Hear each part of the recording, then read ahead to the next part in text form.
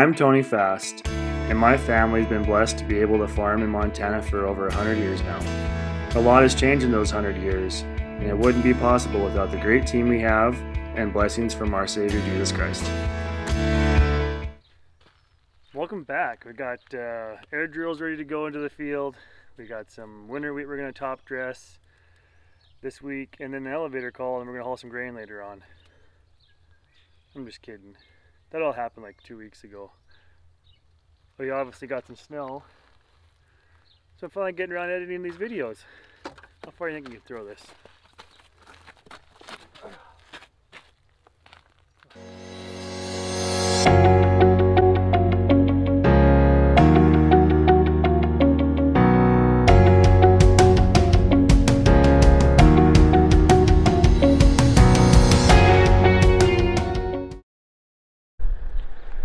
Got the sprayer all ready to go. You can see these uh, nozzles we've got on here have three little holes in them.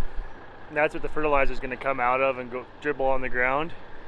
And uh, let's go give it a shot. I think we're ready to to see if everything's working. Kind of hard to see, but there is a little bit of green down there. We did not put much uh, fertilizer down when we planted the winter wheat. We were a little worried about winter kill and the survivability. And uh, so we wait till the spring to put it on. So we know if our uh, crop is going to be there or not.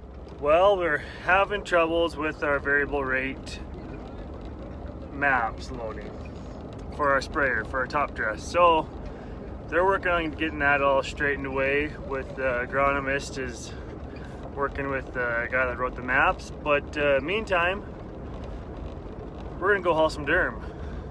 Finally uh, taking durum again. So gonna fire up all three trucks, or three of the trucks I should say, and we're gonna go haul some grain.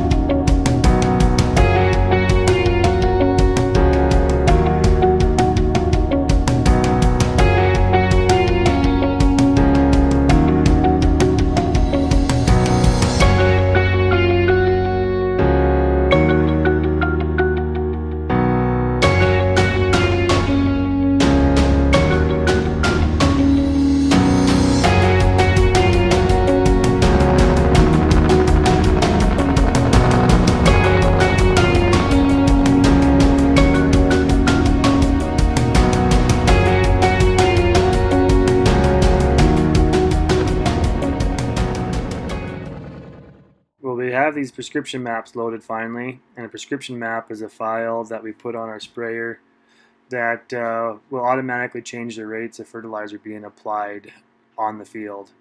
Uh, these different shades here represent the different uh, values, different rates, different amount of fertilizer we're putting down on those sections of the field. And it takes the fertilizer from the poor soil and puts it on the better soil so that we can raise a higher yield.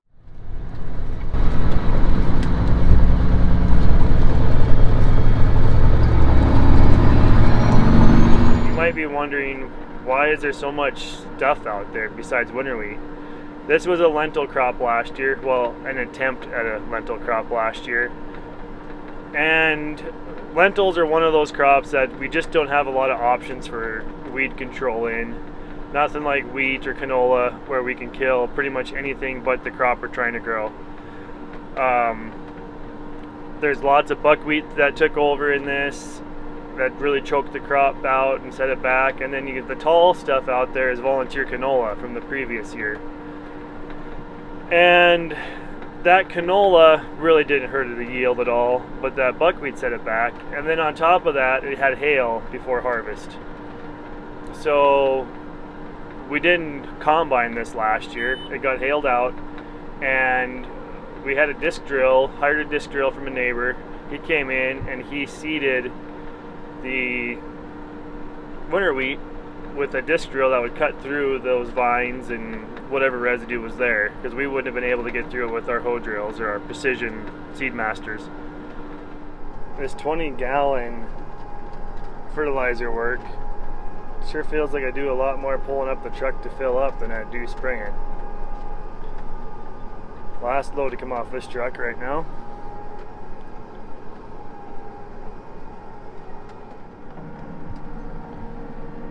I got Hayden running the sprayer now. I'm gonna hop out, go get the last uh, file loaded on to a thumb drive for the last field. And what do you think, Hayden? Got it all figured out? I think so. So I can come back in September when harvest is over? Yeah.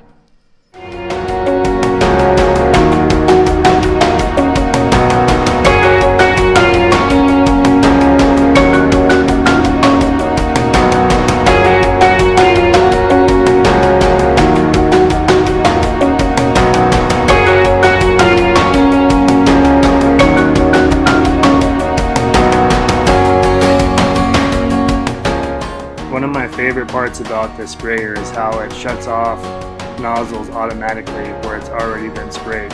Watch this.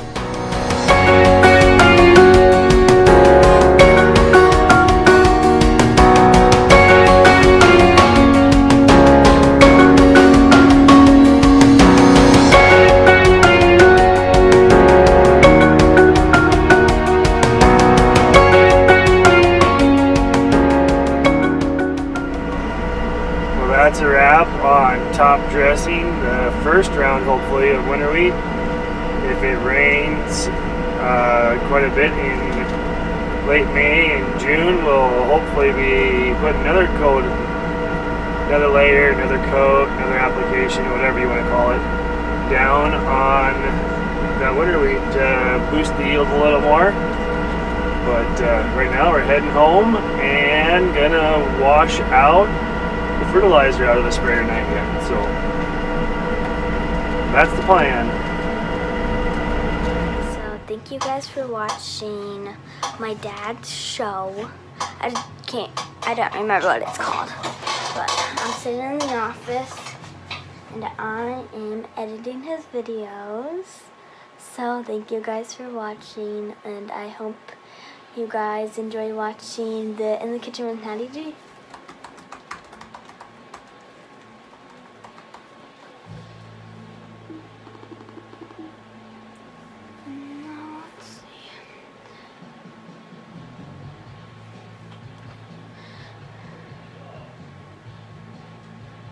Editing. The best. Oh, she cracks me up. She was not really editing. That's what I get for uh, leaving my camera lay around, I guess. Thanks for watching. Please like, subscribe, share. Um, until next time, God bless. Have a great day.